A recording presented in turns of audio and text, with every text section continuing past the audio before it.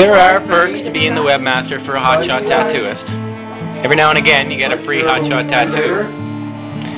We just took advantage of a 20-hour window between hockey playoffs and dentistry to drive down to see Mike Dick and his family.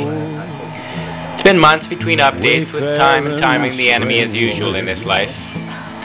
So you learn to take your chances where you may. Victoria is easily two and a half hours and as much gas away, and it takes a lot to get this gang out of the house overnight. We have to arrange for the 30-odd critters while we're away, not to mention supplies for the four of us and the hound.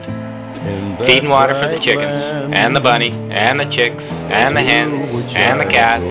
Damn cat. While we made it in time to load up on new scans and make plans for new features, we also managed an hour in the chair for me. People get tattooed for lots of different reasons. I get them so I can hang out with Mike and watch him work. I know I can lay my arm down with total common faith, just relax and enjoy the Johnny Cash or the Johnny Horton while we talk about kids and sticking it to the man. Mike's got an outlaw spirit and a kind heart. Hand as steady as any you'll find and his eye is as sharp as his needle. Piece you see him working on there was my first tattoo, gift from Mike on the occasion of my wedding. It's supposed to be a raven, an animal I've always felt a kinship with. We're just putting in some shading while we plan the rest of the arm. Spooling around really while we shoot some film to put on site.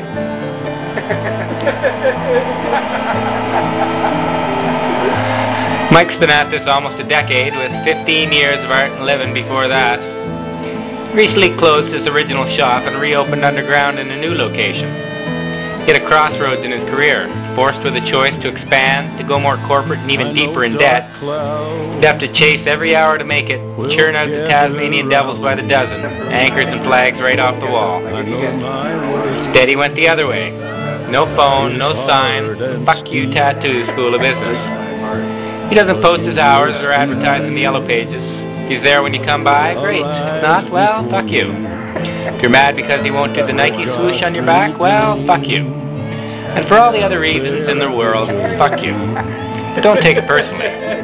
One-on-one and face-to-face, he'll treat you with the kind of decency you figured had gone out of style a hundred years ago.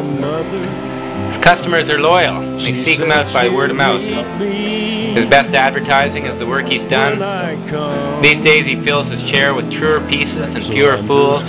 One or two sittings a day in a small and comfortable studio in a small and comfortable square in Victoria. They come from up island and Vancouver and around the world because they know that it's the artist as much as the art makes an indelible impression on your skin. I'm over Jordan.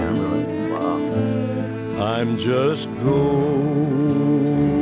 So are we running right now? Over Yeah, we are. I don't have to push that red button. No, that's good. Good. Hi, Dan. How's it going? Not too bad. That's a fact. a Mike Dick fact.